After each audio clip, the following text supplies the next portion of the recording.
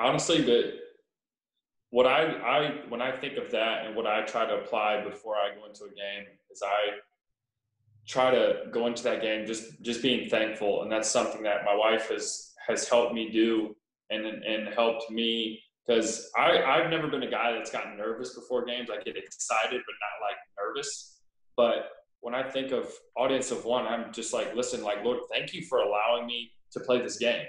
You know, like thank you for allowing me to play another game, and um, that has helped me a lot.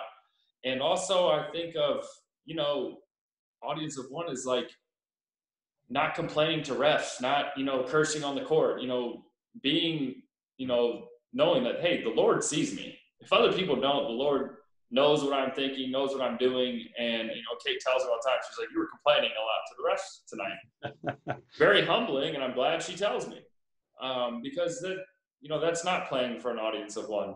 You know, they're they're people too, and everyone makes mistakes, whether they think they make a bad call or not. But again, for me, it's just going into a game, being thankful, and always just you know, even throughout the game, just like, "Oh Lord, thank you that you know I'm, I'm healthy right now, and, and um, I'm able to move and run up and down the court and play a game that I love."